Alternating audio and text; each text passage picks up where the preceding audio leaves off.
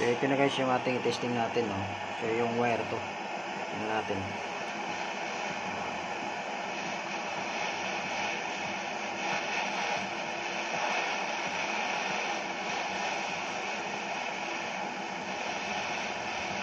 So ayan guys, sa pagkasaglit lang babagahin na niya yung alambre.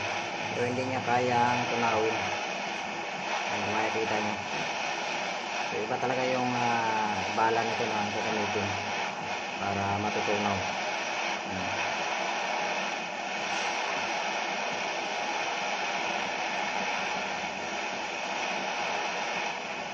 So, hindi kaya. Tapos natin.